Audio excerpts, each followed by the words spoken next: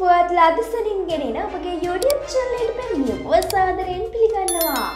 මෙන්න දෙල්ලබුණු තවත් උණුසුම් පුවතක්.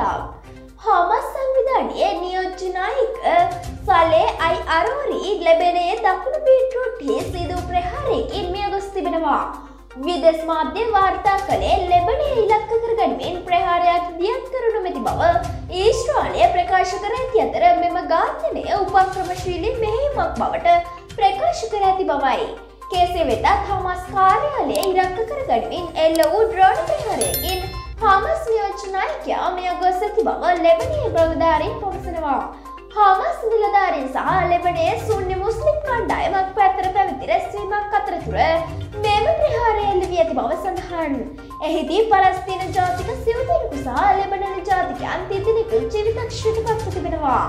මෙවැනි උණුසුම් පුවත් ලදසලින් දැන ගැනීම සඳහා අපගේ YouTube චැනලය සබස්ක්‍රයිබ් කර බෙල් අයිකනයද ක්‍රියාත්මක කරන්න.